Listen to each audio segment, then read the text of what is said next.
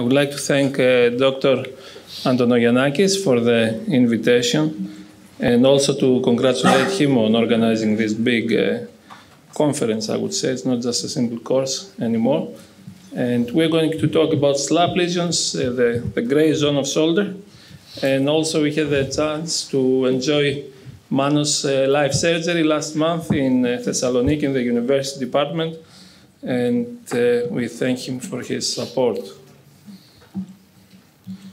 I'm the first speaker, so I can say a bit of the basics. Uh, we all know, we're all familiar with Snyder's classification. We have to buy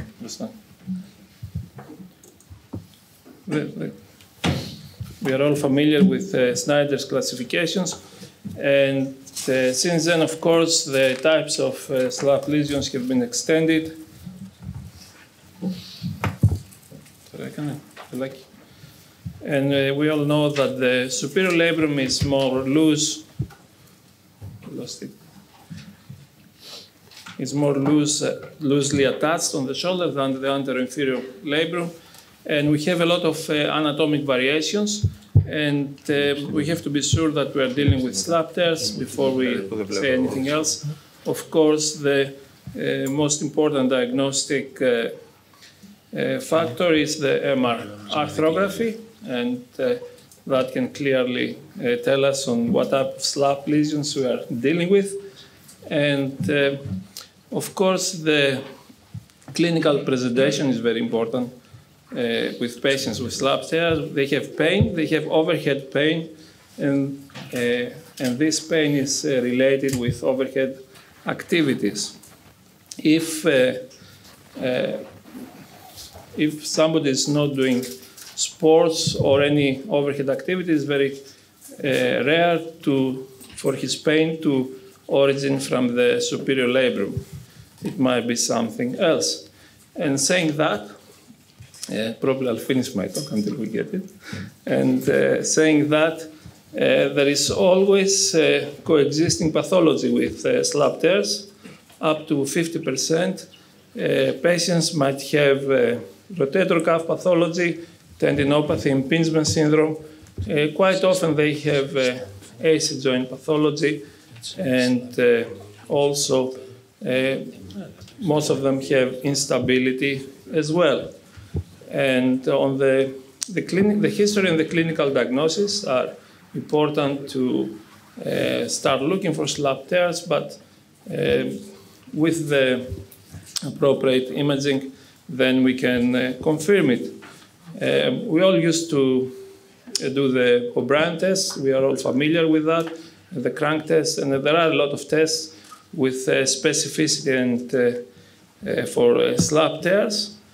And there are algorithms how to uh, how to be based on your clinical examination to suspect a SLAP tear.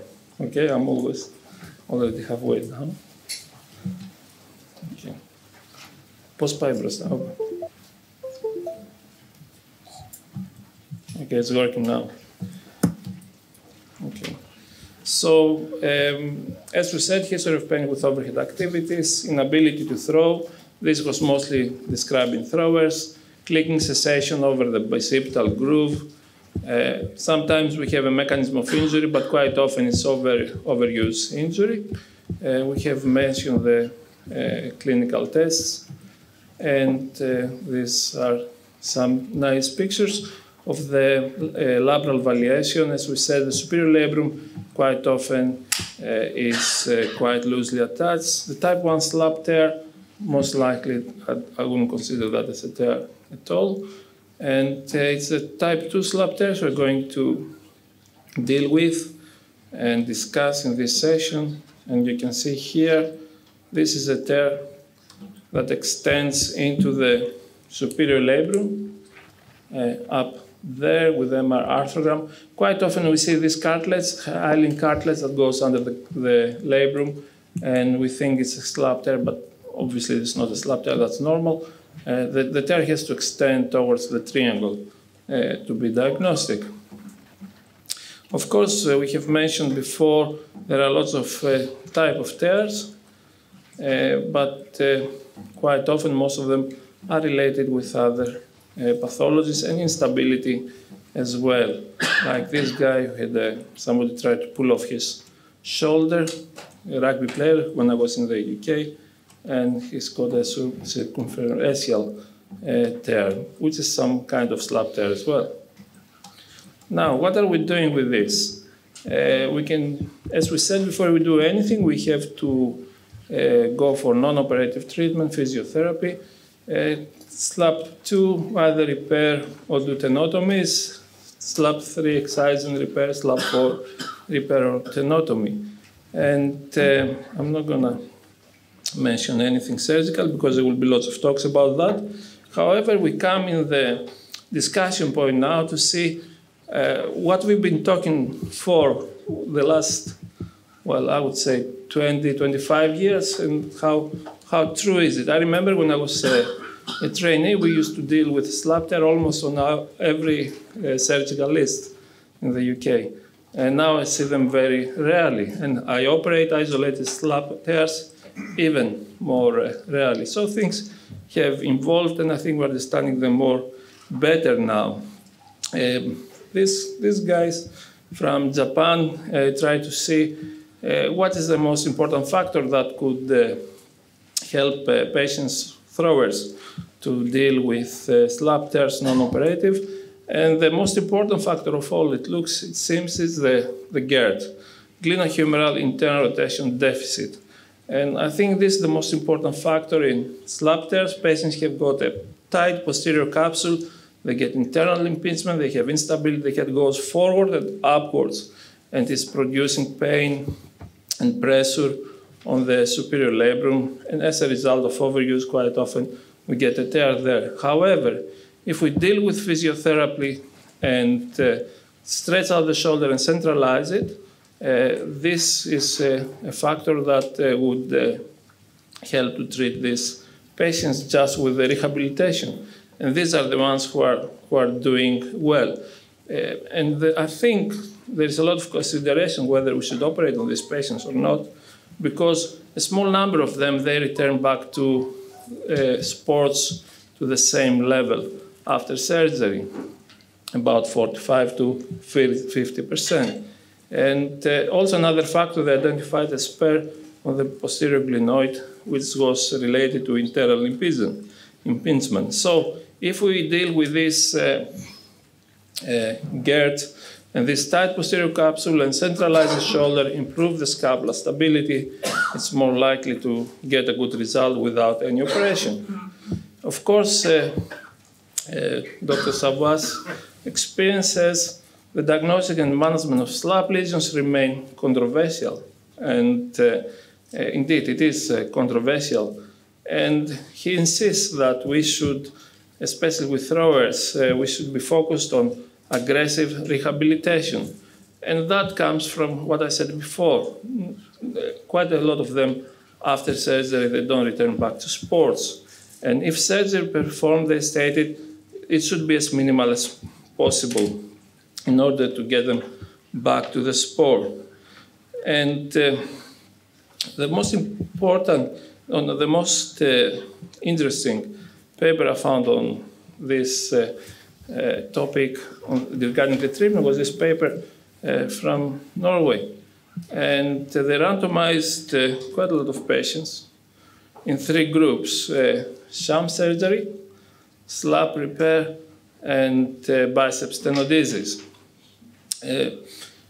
if we look on their material, they started with 445 patients, and here, and this patient had pain all, at least for three months, Although the age was 18 to 60, it's a completely different patient who is 18 with a slap tear than to a 60-year-old patient with a slap tear. But they had a lot of responsive pain. And here we can see already that 227 of them were excluded because they had other pathology. So that's, that's about 50%, as we said before. So when we have a patient with a slap tear, we should look in other pathology, and it's most likely 50-50 that his pain is not coming from the slap tear, it's coming from the, all of this uh, stuff up there we have to deal with.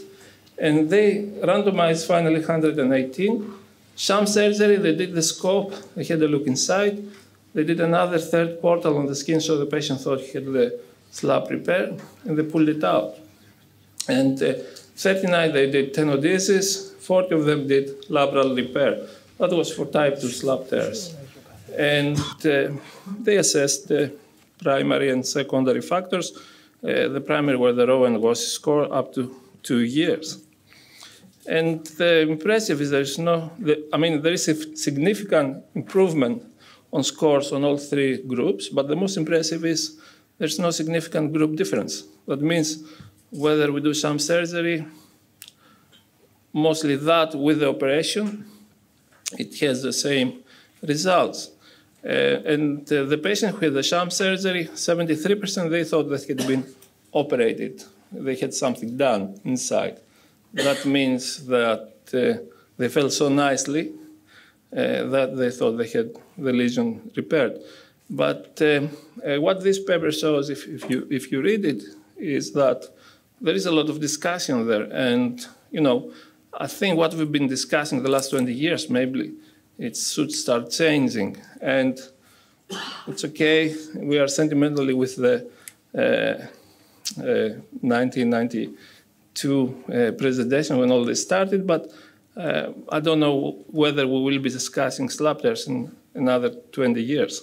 So, uh, and according to these uh, results, patients should be told that non-operative treatment has a good probability of success. Uh, but of course, they're talking about isolated type 2 slap tears, okay? And further studies they need to establish.